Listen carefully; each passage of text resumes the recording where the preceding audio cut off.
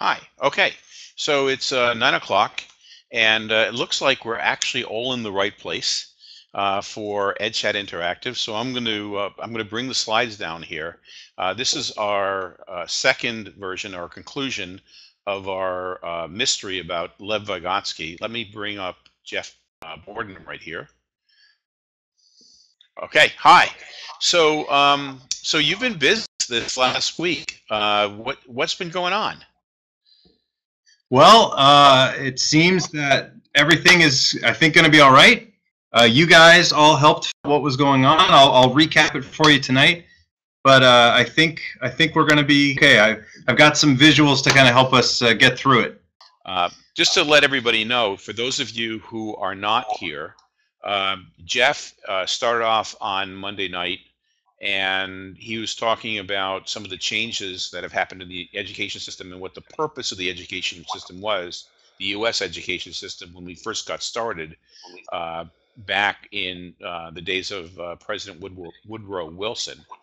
And he had been talking about how various um, intellectuals of the 1930s had gotten together, come up with a plan so that everybody would get a great start in education uh, that the lessons would be much more interesting, the kids would be more involved, the teachers would be really more motivated. Um, and he was in the process of revealing what happened when there was a knock on his door, and he um, and he fled. so we've been trying to find clues as to what happened to Jeff and what happened to those mysterious papers for the last few days. So Jeff, have you emailed me the files yet? Or it is coming to Okay. you right now. So it's going to take me a couple minutes. So I'm going to I'm going to down off the screen, and maybe Okay. you can just give a recap while I run through stuff. Yeah, yeah, yeah, absolutely. Let me let me talk about what's been going on. So, uh, again, thanks to all of you who were able to uh, help me figure out sort of this mystery as I went. Um, for those of you that were here on Monday night, I showed you a letter, and that letter uh, I actually uploaded to a board, a virtual board that I, I also gave you access to, and I, I appreciate those of you. It sounds like most of you got on that night, so thanks for that for figuring out the riddle. I knew you could do it um, as soon as you got on that board and you saw that that letter, you would have seen a letter that was seemingly very old. In fact, I've had it dated to uh, the late 1930s, and uh, it was a letter from someone in a strange educational organization back to their boss saying that they had confiscated the paper and that they had gotten it from and, it's interesting because in that that document um, they referred to different aspects of um, educational theory in different ways. And so I, I had come to the conclusion after having gone through it and, and really looked at it um, and tried to, try to find out kind of what some of the first were that on it. There was a couple of logos up in the upper left-hand corner, things like that. I really came to believe that it might have been talking about Dewey, Piaget, and Vygotsky. And that paper, uh, that that actually that letter about a paper, uh, I made me wonder where's the paper. I, I wanted to to start to find that paper, and so uh, what I did was I went off and I started to work on that project by myself uh, a lot at first, and then pretty soon I, I brought in a colleague of mine, uh, Greg Kuhnsweiler, who really did a great job facilitating and, and helping out uh, on Monday night after the weirdness took took place. But essentially, what I did with that paper that I, I uploaded to the the board was it uh, it led me to start to look into Vygotsky first of all because I thought how odd that a paper by Vygotsky would be corralled by some sort of organization, and I happened across a blog by Vygotsky's granddaughter. And that blog uh, suggested that Vygotsky hadn't actually passed away in 1934 from tuberculosis, as most of the world believed. But in fact, she wondered if he had left the place and, and he was gone. Now, there a coffin there, there is a body there now, but she really didn't seem to believe that, that Vygotsky had actually died in, in 34. And so as I started to look at that and started to look around, I started to find documentation. I started to find uh, pictures. I started to find old logos that seemed to tie into that very same time. And interestingly, when I started looking up Vygotsky with Dewey or Vygotsky with Piaget, suddenly documentation started to come out that I, I didn't think possibly could. I, I knew that they were contemporaries, but that uh, Piaget visited the United States from 1934 to 1937. And some of you pointed out in the pictures that were on that board that uh, you can actually see these three men together. And that's what it seemed to happen. They actually uh, all got together in the United States. We now have photographic evidence that that happened, and you got to see that on the board. Uh, along with some strange happenings. There's a there's an interesting man in the back of the picture that uh, I, I know a lot of you noticed, and that man seemed to appear in other. There's a picture of him with Woodrow Wilson. There's a picture of him uh, standing outside of some sort of institution, and, and we're not exactly sure what he's doing. Well, we now know that that man uh, was actually uh, a man named Maxwell Maxnew. And uh, Maxnew was one of those publishing moguls who brought in a lot of different uh, publishing things, uh, a lot of different companies and stuff. He actually uh, had a company at one point, his last name mixed with uh, Sense, I believe, Sense Publishing, that he had brought in. And so uh, Maxnew Sense was uh, one of the giant conglomerates at the time. But at the same time, Maxnew seemed to be very, very um, integrated with what was going on with Woodrow Wilson, with Rockefeller, with some of the other social engineers like Ellwood Cubberley, and um, some of the people like Horace Mann and, and his whole concept around emulating the, the Prussian model of education. And Maxnew seemed to be in that same vein to the point where I started to wonder if Maxnew actually was, I don't know, a little nefarious. Maybe he uh, had something else that was going on uh, with regard to. Uh, well, sure enough, uh, we started to put kind of two and two together, and we figured out fairly quickly that Maxnew was had been put in charge of a an organization called the DIE, the uh, Department of Instructional Enforcement, and the Department of Instructional Enforcement was supposed to keep the rigidness of the education system. And you saw those quotes from guys like Ellwood Cubberley, who said the job of the school is to keep students afraid and to keep them feeling lonely and to make sure that the only comfort they have are the rigid lines of the desks and the bells that, that tell them to move from one place to the next place so as to keep their focus squarely on the front of the room so that the instructor can fill their head with knowledge. And so as uh, as you saw those quotes from those men, it seems that Woodrow Wilson hired Maxnew to enforce just that.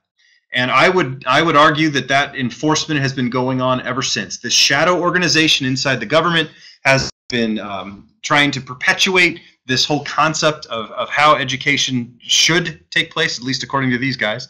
And uh, that's what actually led to some of the problems that I had the other night. So uh, I was say, literally. I say, yeah. I got your file.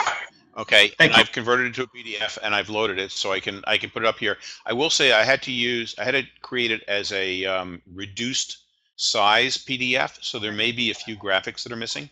Um, Okay. I haven't looked at it yet, but uh, but I'll bring myself down and Okay, um, and bring the, bring the slides back up. Okay. great, great. So um, I uploaded, in, and you'll see this here in a second, a, a picture of myself trying to go out into the world and, and get some of this data. And the guy that actually accosted me the other night, that was after me, I have photographic evidence of him on a class trip that I took to Switzerland when I was actually looking for some of the stuff from Piaget. Uh, he has been following me for, I think, about a year. And in one of the photos that, that you'll see here in just a moment, hopefully, um, he is lurking in the background and he seems to be trying to, to see what I'm doing. And I've got pictures of him in Venice until I started assembling all of this together. He really has been following me around. Well, nonetheless, um, I was able to get to Washington. I found a piece of evidence Um, some of you found some evidence that was actually hidden on that blog from Vygotsky's granddaughter. Uh, he had been using a bookmark uh, inside of an old trunk, and some of you found it and and and you know asked a great question: Why would a Russian have paper a paper that had been written English? And sure enough, it was the middle section of this summary that describes this paper that these three men worked on. Uh, Unfortunately, it seems like the, the summary and the paper were attempted to be destroyed. So we have the middle section from Vygotsky's granddaughter. Then uh, I was able to find the front or the top section from uh, one of my contacts that, that I, I had who was really a conspiracy theorist, and I thought he was a little off of his rocker, but he uh, provided me with some of the uh, information that was really quite fascinating. And then some of you, once again, came through and found the information tied to MaxNew, tied to the last of the paper, uh, out on some of the other sites that are that are kind of out in the world. You were able to find some of the stuff that was on um, uh, Wikimedia Commons, and you were able to find some of the stuff uh, about not only MaxNew but also the stuff on Marquide and some of the other information that led us to finally have all three pieces of the paper. And all three pieces of those paper are up on the Padlet site right now. So really, I, I can't thank you enough for all of your help uh, in, in getting me where, I, I am today because I was able to meet with that presidential hopeful. And if he becomes he wants to nominate me Secretary of Education, and I will take care of this. I will get rid of DIE. Uh, I will get rid of EVL. I will get rid of these shadow organizations trying to keep education down so that you and I can do the things that we know to be right and best for our students and our kids, and we can actually make a difference with them. So, really, at the end of the day, thank you for all of your help and your support. All right. With that, I think I'll bring down the fourth wall. And uh, I, I want to go into a description of what we did here, uh, worked, why I did some of the stuff I did, uh, what is true and what is not true. Uh, essentially, what we have done over the last 72 hours is we've played an alternate reality game. Some people call it an augmented reality game. But it essentially is where reality sits here and parallel to reality is the game. So you weave in and out of uh, what is real and what is not. Um, but the idea in this case was to actually create not an ARG or alternate reality game as much as an ARLE, an alternate reality learning experience. And that's what I tried to do and, and tried to build here with a wonderful team behind me, uh, some of whom are in the room with us tonight. Um, this team really did a miraculous job putting this together in a relatively short period of time. They got it together in a, in about five weeks or so. Um, and I want to go through how we built this game tonight because I really believe in what we were trying to show you was that you could create a game similar to this for your, your students and for their experiences. You could do it alone. You could do it with colleagues uh, you could do it uh, in all kinds of content, and I think really good things can come from it uh, as you go. All right. Um, as as you think about games and gamification, uh, I understand that uh, first of all, what we did here was a little bit unusual in that we didn't tell you it was coming. Um, we didn't let you know that you were going to be part of a game. Now that's typically how an ARG works people start playing a game without knowing that they're playing. And I think our biggest fear from the team here was that somebody would call the actual police when they thought that I was being accosted by this weird person at my school. So I hope nobody did that. I don't. I don't think anybody did that. Uh, we tried to make it so cheesy and over the top that you would soon realize you were playing a game.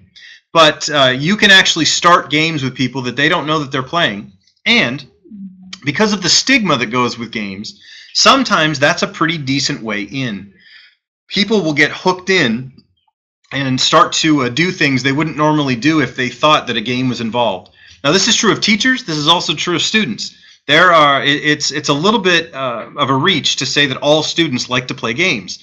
Um, students who think that that stigma exists just like their parents might or their teachers might, and that a game is nothing that and that they have more important things to do, et cetera, et cetera.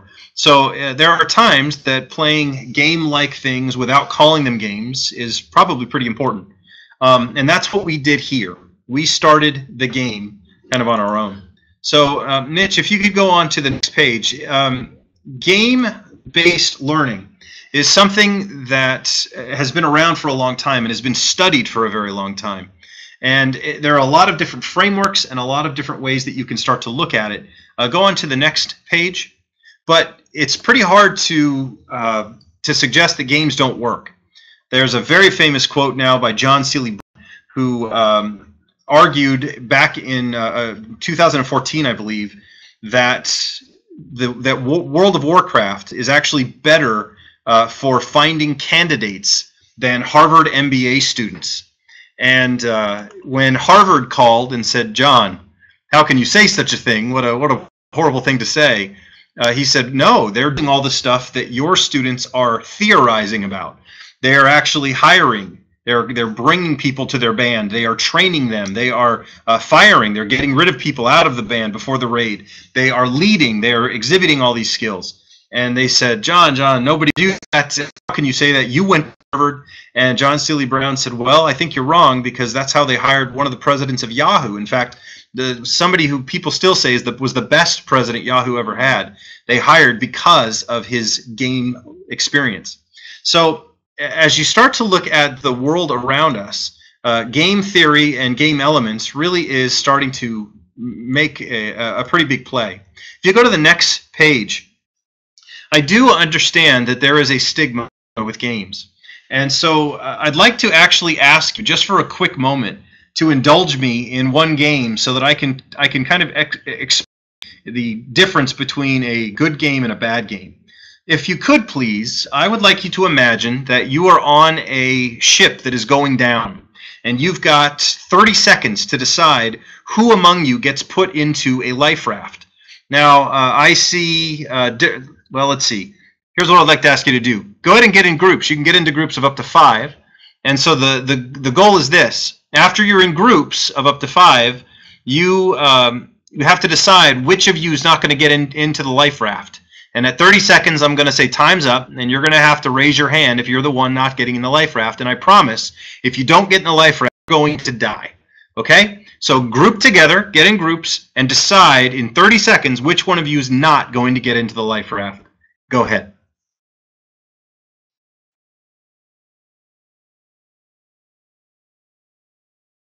If you're not sure how to get into groups, click on somebody else's picture. There you go. And then if you're in twos, two people can picture can click on somebody else, and then you can get into a group. There you go. All right, you've got about 20 seconds left.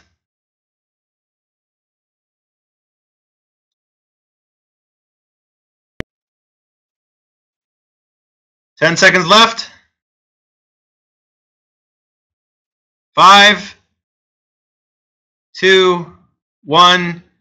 All right, time. So uh, I can see one hand raised. If you were the person in your group who was voted out or decided to get out, raise your hand. There's a couple of hands going up. All right.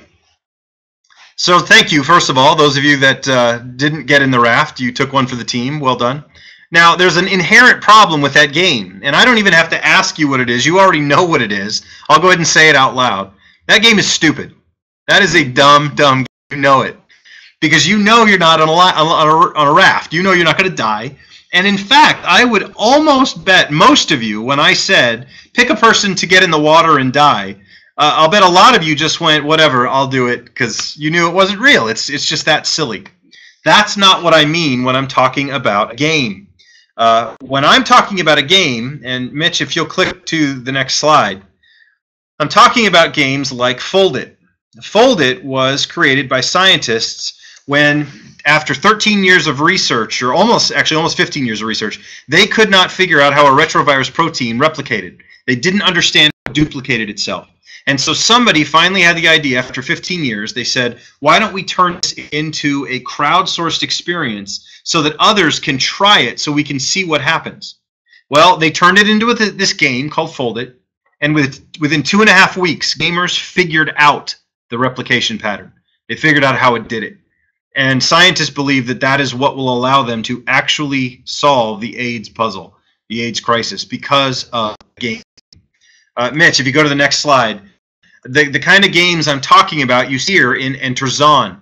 Enter Zon is a game that teaches conversational Chinese. Uh, if go into Zon, you will be dropped in the middle of virtual China wearing nothing but a t-shirt and shorts, and you communicate over Skype for free with others in the game that speak Chinese by speaking Chinese. People are learning conversational Chinese in Zon in two or three months when it normally takes them seven or eight months in a formalized setting. That's the kind of game I'm talking about. If you click the next slide, games actually create pattern finding. And pattern finding, if you look at John Medina's work out of Brain Rules, is something that is extremely healthy for our brains. It's very, very good in terms of how our brains can and should. The next slide will show that games are a really nice way to integrate curriculum together, to put disparate pieces of things that didn't seem to necessarily go together, together. I, I really quickly want to describe to you how I have um, come to this, this place where I have been playing uh, games like this, and I've been doing them in the classroom for quite quite a long time. The next slide will show you my very first alternate reality game, or really alternate reality learning experience, ARLE as I like to call it.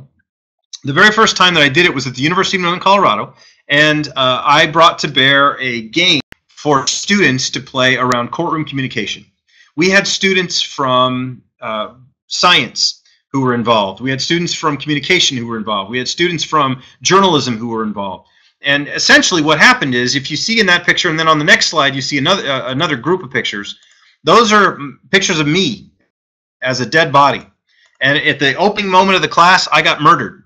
And then for the rest of the two weekends of this class, the students had to try a person who was accused of committing that murder. And so the journalists covered the event the communication students acted as the prosecution and the and the uh, the science students acted as forensics experts. We had people play jury members who did not see what had happened.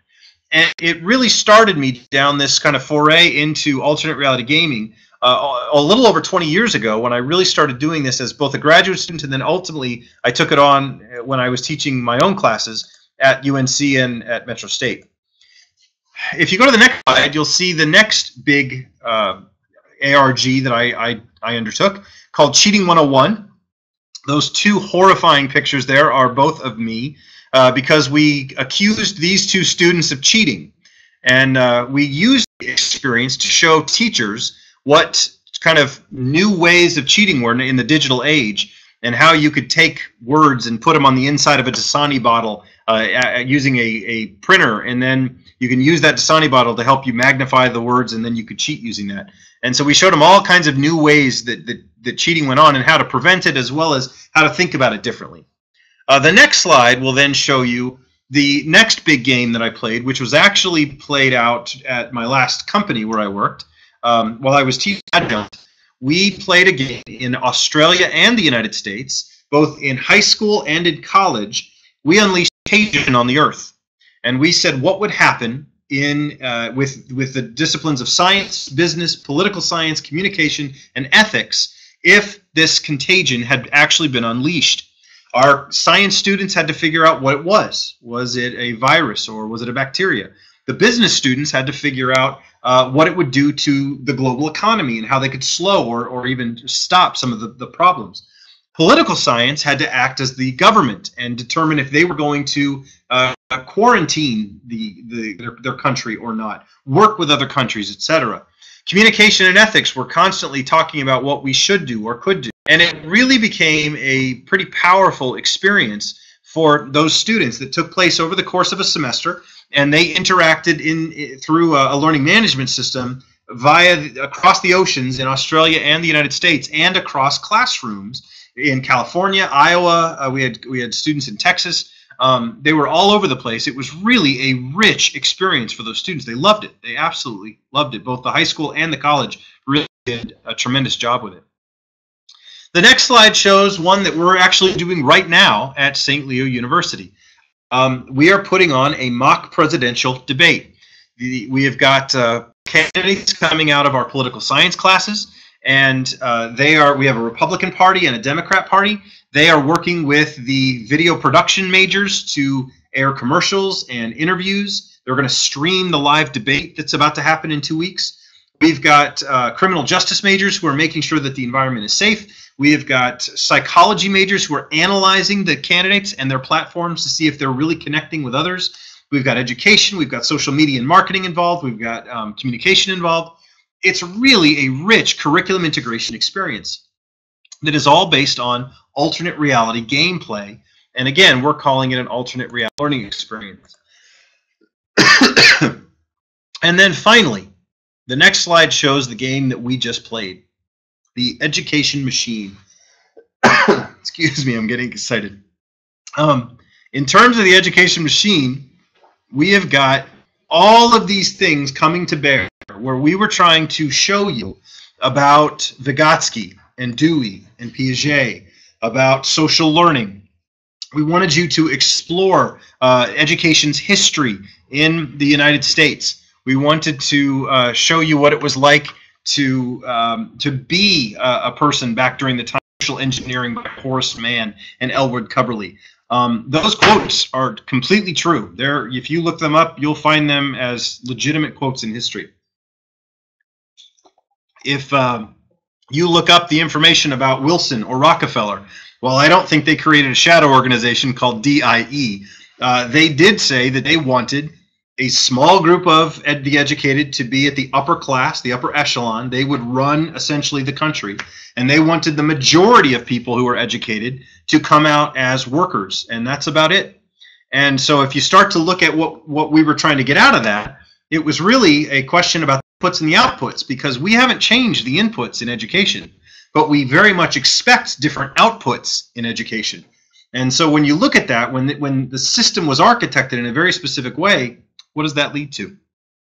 So I've got some experience playing these kinds of games.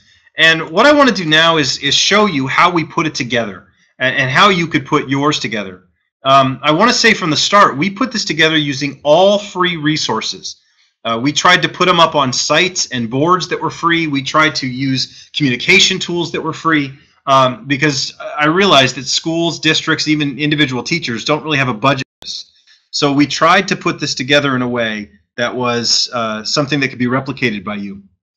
Now, basically, what I've done is I've taken some of the work of Jane McGonigal, who's um, amazing in the alternate reality game, uh, game space, and I've tried to remix that for education. So I think uh, I, I hope you'll see what what I'm talking about. So if you look at the very first slide on how to create an ARLE, there's really two things you want to do at the beginning. You want to start a puppet team and you want to research some game mechanics and determine what the roles will be for the people at team. Now, if you look at the next slide, there's some really places to start for, for learning about game mechanics. Uh, Reality is Broken, uh, The Gamification of Learning and Instruction by Karl Kapp. Uh, now You See It by Cathy and Davidson. Really good places to learn what game mechanics are. And there's, of course, lots of others out there. There's the seriousgames.org website.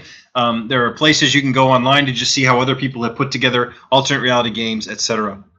The next slide is just a picture of a Puppet Master team. This was specifically for the one, the Contagion one that I described to you, where we brought people together from all over the country and Australia to come together in a um, event just so we could talk, you know, right in a room and, and put stuff up on paper and, and on pages. And it was a really exciting couple of days that we got together.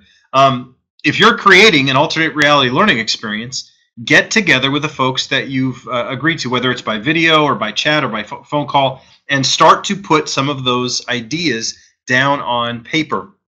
Get yourself to a place where you're ready to go. So now you've got your, your team assembled. Uh, you kind of understand the basics of game mechanics and, and leveling and, and some of those things around points and badges and, and, and stuff like that. The next phase is really important, and if you look at the next slide, it says to be outcomes to a narrative. This is crucial for education. Um, now, this is different than what you might see in an alternate reality game that is being played just as a game for the sake of being a game. In our case, you really want to identify the learning outcomes. Now, there's two ways to do that.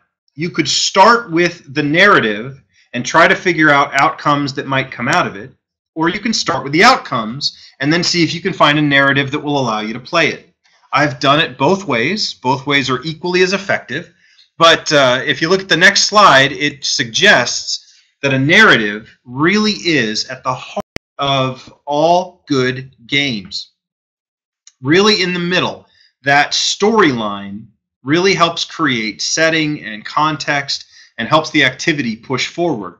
So you want to make sure that you've got a strong narrative that includes lots of the things that narrative is supposed to include. Conflict, the creation of disequilibrium, the building of that disequilibrium, the tension over time. So when we played our contagion game, we killed off hundreds of thousands of people every day that game so that the, the students realized it was getting harder and harder and worse and worse and the, the, the earth you know was coming to this this really bad place for people so you want to use the the effective tools of narrative but as the next slide shows you also want to make sure that you've got your outcomes you want to think about uh, global goals for sure, and that's what I've illustrated here. In that contagion game, we talked about basic health tenets, uh, cultural sensitivity, persuasion, but each class had local outcomes, specific outcomes. So again, our biology students in 10th grade, they've got certain things on, um, uh, when it comes to the scientific method that they really were supposed to learn that particular year. So the teachers made sure that they took that experience and kind of filtered it so that the uh, scientific method was really how they viewed that experience. Our political science students, or in this case social studies students, had specific outcomes for social studies around uh, the Earth's history and government and how government worked. And so in those courses, they talked about the House versus the Senate. They talked about the you know the multiple branches of government and how they work together or sometimes didn't work together. And so they really tried to use that as they went. In the case of the game we just played if you look at the next slide it shows you the learning outcomes that we had hoped to get you to start to uncover.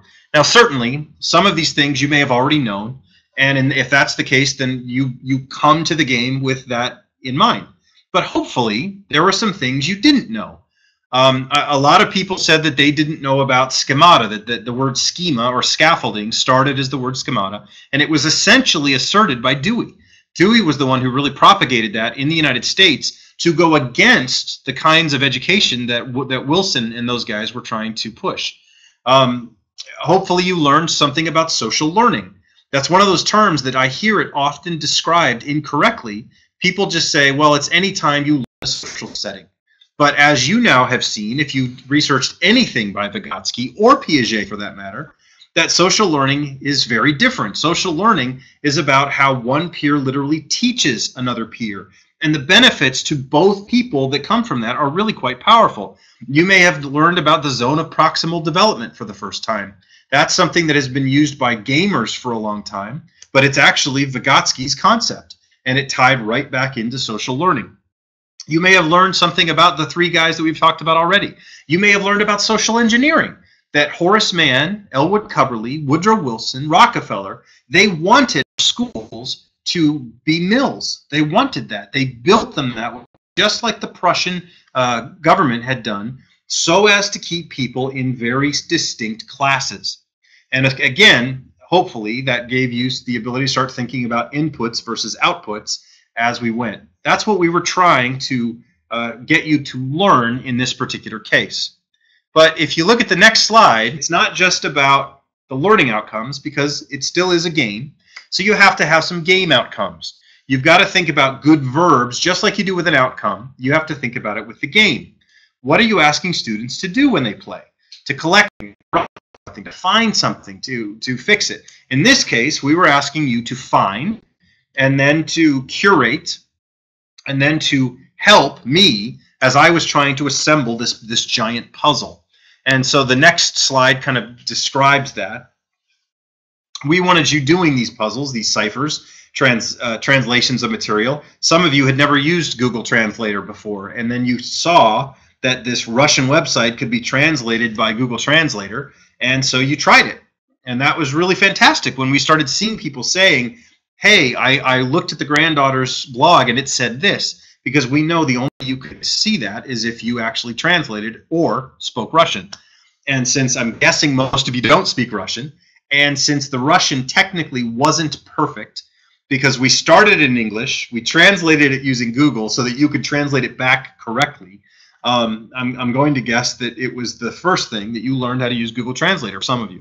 Um, we also wanted to get to some critical thinking, problem solving, creativity, research along the way. The game marrying the learning outcomes really does set up a nice platform for that. The next slides just show, so 34 shows a, a, a site that we used in one of the games that I played. Uh, the next slide shows some other apps that we used as inspiration for a game. This, this is called Plague. Really cool little app that uh, basically allows you to try to destroy the human race as we know it with your own plague that you can make up. It's quite clever. The next slide uh, is a to escape app that shows you how to use those kinds of experiences to compel people. The next slide shows how to use a, and in this case, it's a math riddle. Uh, you can start to embed these riddles inside of the games to see stuff. The next slide is one of my favorite pictures of all time. It ultimate cipher. It is a cipher that uh, was created by an American artist named Jim Sanborn. It's at the CIA's headquarters. And only one third of it has ever been translated. Uh, it's been sitting there untranslated for decades, I think two decades. And in fact, uh, Jim Sanborn is getting nervous uh, because he's a cryptographer and he is nervous that he's going to die before the CIA students actually figure out the, the cipher that he created. So uh, they're they're trying to figure out what to do. You can embed these things in plain sight anywhere, and then begin to use them and pepper your game with these different kinds of clues and riddles. The next slide is about step four finding inspiration and then moving on through iteration to get you to a place where these games really take on a life of their own. Um, in the case of the game that we just played, uh, one of the one of the things that was really fun was starting to figure out who was the antagonist, who was the person who perpetuated the conflict, and we started talking about um, uh, some of the different kinds of entities we wanted grouped together and then my team, some of the really clever folks on my team, came up with some of the names you heard. You know, Max knew, and he he was a publisher who Sense Publishing. So Max knew Sense is really what we were trying to be cheeky with. You know, makes no, no sense. But if you look at the next slide, you can see where we started to put out some of those ideas. The education machine uh, had a Google Doc that went with it, and we let everybody who was part of the game in on the Google Doc so that they got to play, um, uh, you know, a part in trying to create this narrative, create the, the ties to the outcomes, et cetera, et cetera, et cetera, uh, as we went. So it was really uh, a pretty uh, enjoyable experience for the game players. Now, in terms of the narrative, let me give you an narrative that really can take you on a, on a ride. And this is a true story. This actually happened. The next slide, slide 41, talks about uh, a shirt. There, what you're seeing there is a shirt from a Nine Inch Nails concert. And on this shirt, there was a clue. And nobody knew it was there. Nobody knew there, that this clue existed. Uh, somebody got the shirt and noticed that some of the letters on the shirt were highlighted. Well, when they got home, they took the, the letters, they put them together, and then they typed them into Google to see what that would mean it led them to the next slide. It led them to this web page, um, which actually was this strange uh, picture of all these this hand coming out of the sky. They didn't know what it what it was. They didn't know what it meant. They didn't know why it was there. It was just on this I am trying to believe.com website. But there was a place on this website that allowed you to download a new song from Nine Inch Nails. Uh, it was a hidden link. You had to actually find it over in the black area on the left, and then it would allow you to download a song. Well, the person who found it uploaded it to a fan site, and the people were excited and they said, "Hey, where did you get this? Is this really them? Is it a cover band?" And she said, "No, I, I really found this." And she sent them back to this website, and it took on this interesting kind of life. The next slide was a YouTube video And I'm sorry, I, I thought I would be able to actually play a video, so it you're not going to see here. All you're going to see is black. But it's on uh, it's on YouTube. If you look up year zero, you'll actually be able to see. It's a 30 second clip of this hand coming out of the sky on what looks to be a family trip uh, as a, a, kid is shooting a, a, a, recorder outside of a window. And the comments underneath that were crazy. What was that? Is it a hand coming out of the sky? Was it the hand of God? I don't. What was I seeing? And people about every 25th, 20 or 30th comment got directed back to I'm trying game players by one of the puppet masters. In this case, their marketing firm and uh, they started to play the game without even being Nine Inch Nails fans at all. The next slide shows what they started to do at their concerts. So they got over to Holland, over uh, to uh, Europe, and they started putting USB drives on the back of toilets inside of their con- their concerts. And people started picking them up and putting them in their computers when they got home, and then finding there's Nine Inch Nails songs, which was unbelievably stupid in my opinion to do. Don't ever put a, an unknown USB drive in your in your computer. But they did, and when they did that, this is the most miraculous part of this whole story to me. Somebody heard at the end of one of the Nine Inch Nails songs the strange. It goes off into these crickets, and it sounds like chainsaws in the background and all this stuff. And they put it through a spectrograph. I don't even know what a spectrograph actually is, but somebody had access to one, and they took that and put it through it, and they found what you see on the next slide which was the plot points of that spectrograph, which looks like a hand coming down out of the sky. And it matched exactly what was happening on the Nine Inch Nails album cover that was accidentally released the day that this showed up on the internet. Well, now people realized they were playing a game. The next slide shows you the websites that they then had to start people to communicate back and forth. They hadn't expected it to get so out of control that people needed these places to communicate, but it did. The next slide shows some of the weird evidence that they started sharing with people, um, these assets that they built that got people communicating about this, that, or the other. One of the assets asked people for their address. People gave it. About 10,000 people gave it, actually. And uh, of those 10,000 people who gave their address, 1,000 of them reached what you see on the next slide. They received this in the mail. This tiny little kit that had inside of it a dead cell phone, had paraphernalia and pamphlets about the end of the world, about climate change and all this, and then had a sticky note on the cell phone that said, "Get to this place at this time in Hollywood, California, in about three weeks. You'll be glad you did." Of the thousand people, over 900 showed up. The next slide shows, uh, and I'm sorry, it's kind of hard to see because I'm sure they all run together. Uh, people got to California. They got on buses that were blacked out, though the shades were, were all drawn, or they had garbage bags taped to the windows. You had to hand over your wallet and cell phone when you got on the bus. Everybody did. It drove them around for a long time to try to get them lost so that nobody knew where they were, and then finally dumped them out at a warehouse. They all get into this warehouse, and people start looking around, kind of wondering what's happening. And this guy comes out at the end of the warehouse and says, first of all, he says, "Can you? Why did you give us your cell phones and wallets? Nobody knows where you are." and everyone kind of uncomfortably laughs. You can actually see all of this on YouTube. It's it's really quite clever. But then he talks for 20 minutes about the end of the world, about how governments are covering things up, and this, that, and the other. And then he walks off stage, and nobody knows what's happening. They think, is that it? Is that the end? Until finally, about 20, 25 minutes after that, the stage lights up again. And if you look at the next slide, that's actually a picture of the Nine Inch Nails singing their entire new album for this this personal rock for these people who made it there. That is a pretty compelling narrative. It drew people in from all over the world, from Japan, from Brazil, from Amsterdam. People all over the world played this game uh, and tried to get to California to be part of this because it was a big, big deal. The next slide suggests that you also then want to figure out how you're going to deliver your media, whether it's through uh, something local like a learning management system, or you're going to use Google or Microsoft or some sort of uh, Apple or iOS thing. You can use mobile devices. You could use Facebook. Now, we tried to use, in this case, a lot of different things. The next slide shows you some of the sites that we started using. And in fact, some of these were new to me at the beginning of this game. I had never seen Padlet. I had never seen Tiki Toki and the Tiki Toki timelines. I wasn't nearly as familiar with Wikimedia Commons as uh, one of our, our designers, Cecilia Bolick, was. She, she talked about how we could put any picture there and we could annotate it and we could it, and it would look like a wiki like a, a, legitimate wiki Now we also tried to use you know Google Translate and some geocaching with um, Google Maps. All of those are free. All of those have a free choice for putting up content and allowing people access to them.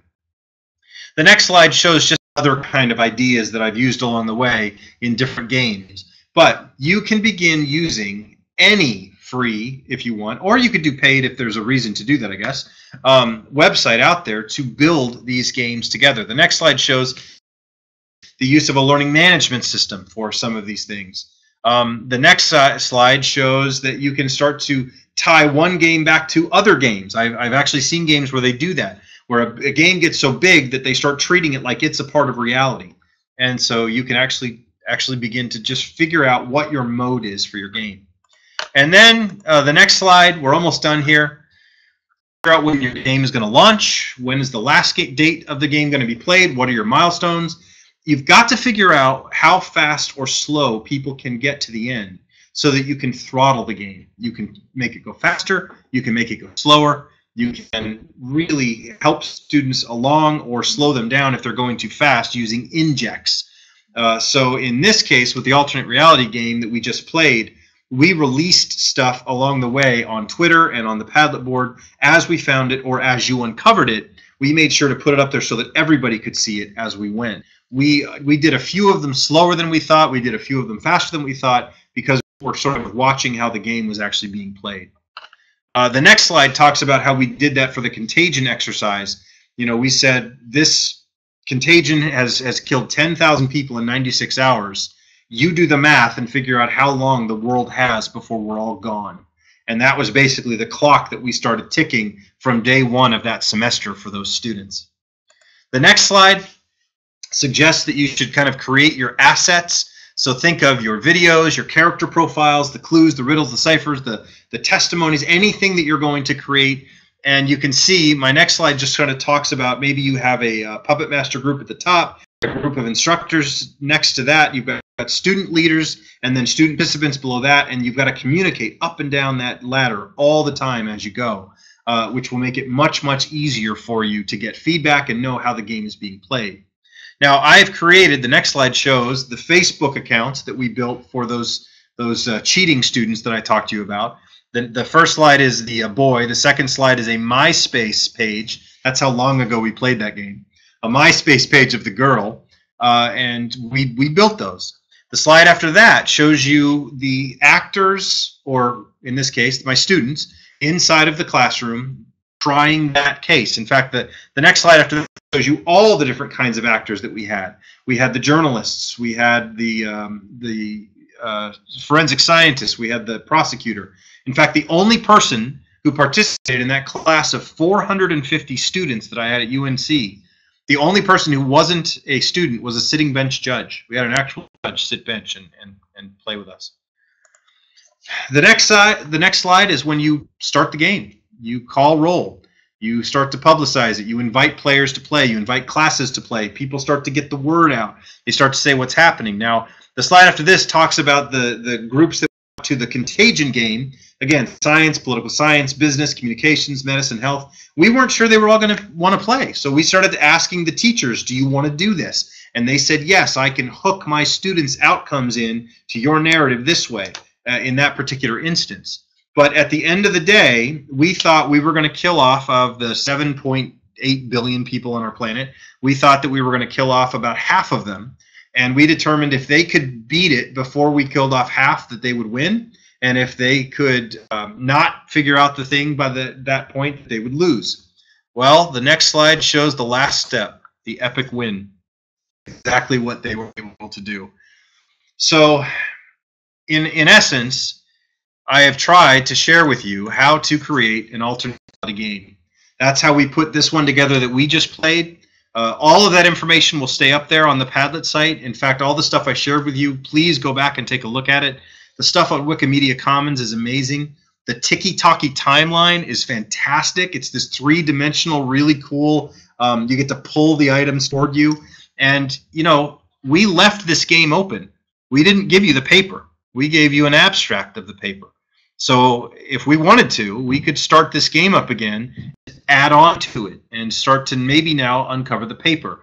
it was hard enough for me to write a two-page paper as if I were Dewey, Piaget, and Vygotsky. Unfortunately, that's not real. But um, trying to write probably three years worth of work would be what a 95-page document. I don't know if I have that in me.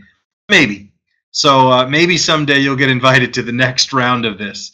But in the meantime, that's how you build an alternate reality game. I've got a couple of minutes here at the end. I was going to leave them open for questions. Um, Mitch, I think if someone raises their hand, you want to bring them up, and then uh, they can talk and ask questions. So please. Yeah, so I'll, I'll, I'll start off while people are um, thinking about raising their hands. Uh, how, um, what's your next step? I mean, you're, you're doing a political game at uh, St. Leo University. What other, what other types of things are you planning? Well, um, that I'll tell you that game's taking up a, a, bit of our time. It happens in two weeks. It's actually uh, two weeks from tomorrow. We have coming to that final debate. It's the two presidential candidates. We have invited NPR and Fox News and uh, NBC, ABC, CBS, the local affiliates in Tampa. Uh, we have invited all of the current presidential hopefuls. Uh, we have invited, um, gosh, uh, local politicians. So we've got a state senator who's coming and a state representative who is for RSVPDS. So it's a big deal for us. So really, over the next two weeks, I'm going to be focused pretty myopically on that. But after that, we hope to play some games at some conferences and bring these sorts of experiences to some others for professional development uh, as we go. Mm-hmm. And um, have you have you seen these types of games used in in high schools or middle schools or even elementary schools? Yeah, so World of Classcraft is a pretty good example. That really is heavily dependent on video. Uh, uh, it's Warcraft really, but uh, I'll say the reason I like alternate reality games that are not video dependent is because you don't have to know how to code, you don't have to know how to program, you have a lot more control as a teacher. And since we've been, you know, I, have been sharing this concept with high school teachers for a long time, uh, a number of them have really taken the ball and run and built their own very clever little games that they share with me. Um, over time, I, I don't know, I've probably seen a dozen or, or so that have really been pretty successful. Yeah, I uh, Paul uh, Darvasi was going to be helping us with this game, and then he, he ran into a lot of work at school. But he did he did an incredible one with with his where uh, the the kids all of a sudden found that their identities had been hacked, and yeah. there was some organization that was um, that was trying to destroy their identities, and they had to find the organization. And about halfway in the game, they found out that there was that there was another group that was also um, trying to crack this case, and whoever won would, would be able to destroy the identities of the other class. So it turns out that there was a game in Philadelphia, and there's there's a group in Philadelphia, and there was a group in Canada that had to find where where each other was, and one of the um, kids in Canada, or the kids in Philadelphia, um, by mistake, posted a picture of himself with a street sign. Um, and so they were able to figure out where the other school was. I see there's a question here. Um, so, you know, I'm going to bring myself down and um, I'm going to bring uh, uh, Marion up. So, so okay. maybe she can ask the question. One second. Yeah.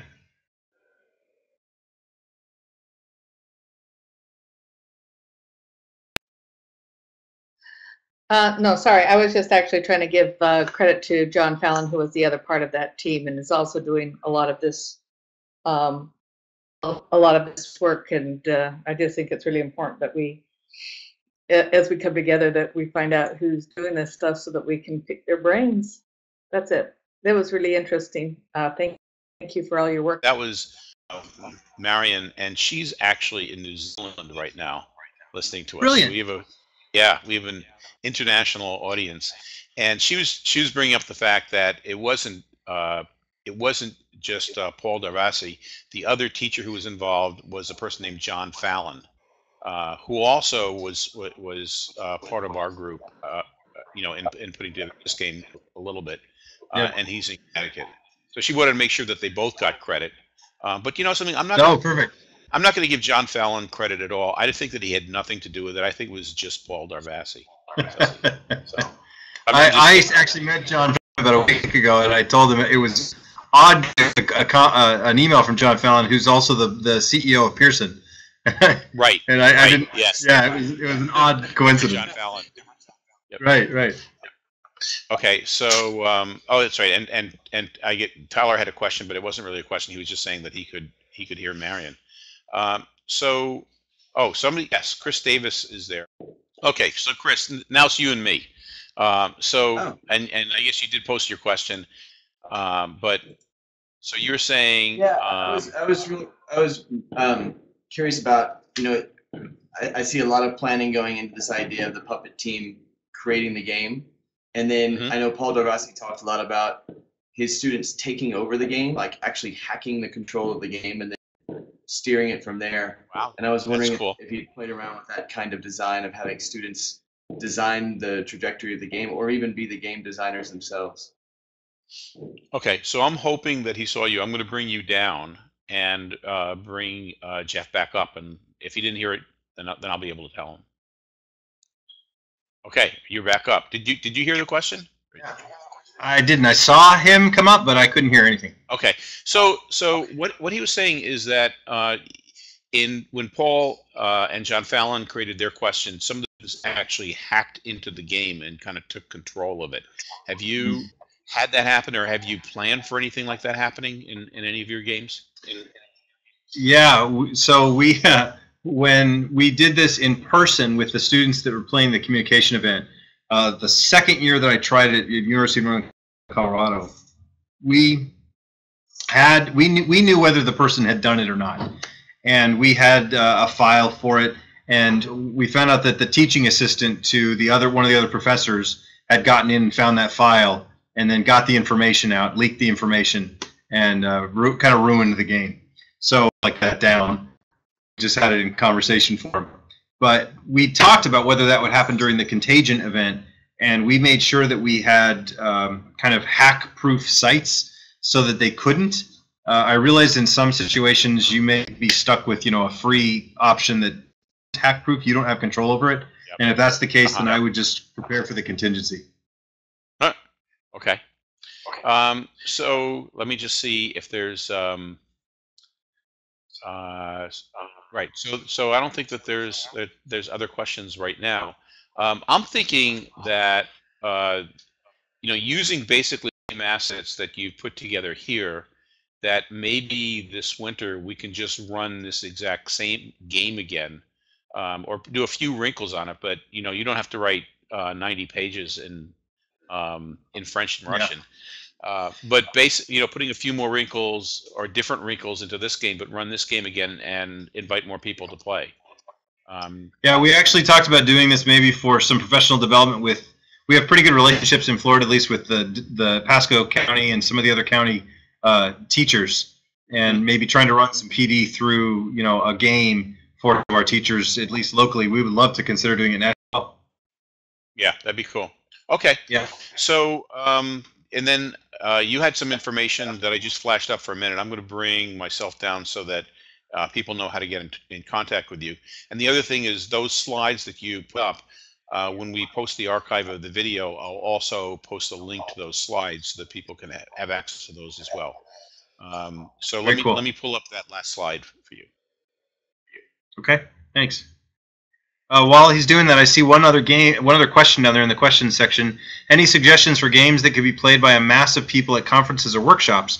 Um, it's funny, the cheating game that that we did at a conference, it was developed for a conference, and I then delivered it at a retreat for teachers, for uh, high school teachers, uh, a couple years after that. Basically, what I did I, I found this cool little bomb clock thing. Uh, it was hard to get through TSA, believe it or not, when I was trying to travel with it. But um, I was able to take it to this conference, and basically I said I, I had hacked in. I, I came on as I morphed my voice, and I came on and I said I've hacked your school's SIS system.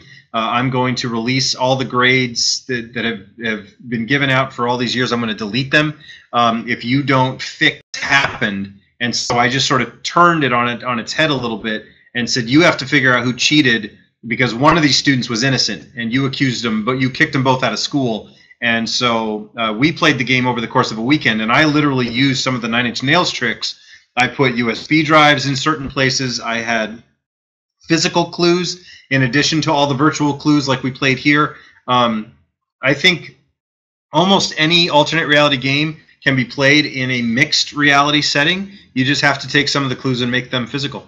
So, with that said, um, Mitch has put up uh, the information about how to get in touch with me. Please do. I would love you. Uh, thanks so much for playing this little game with us, and I Yeah, really appreciate it. Yeah, and just one more thing is that we did put in a a, um, uh, a request for South by Southwest EDU uh, that we create a um, an alternative reality game for them. We haven't heard back from them, so we don't know if they're going to choose us. But we're we're hopeful. But maybe if some of you listening can um, contact South by South by Southwest EDU and say we want to play uh, Jeff and Mitch's game, uh, Yeah. maybe maybe we'll be selected. Uh, but Jeff, Well, thanks a lot. I, I think this is really cool, and um, I, I'll just say uh, good night for for EdChat Interactive. We have two events next week. Um, both of them look really interesting. We're going to have uh, Dr. Uh, Russ Quaglia uh, talking about teacher voice, and then we're going to be uh, we we're going to be having another session. I think on the fourth on Minecraft. If you go to www.edchatinteractive.org, you can find both uh, both sessions next week. Um, so this is uh, Mitch Weisburgh. I'm, uh, I'll, I'll say good night, Jeff. Take care. Thanks so much. Good night.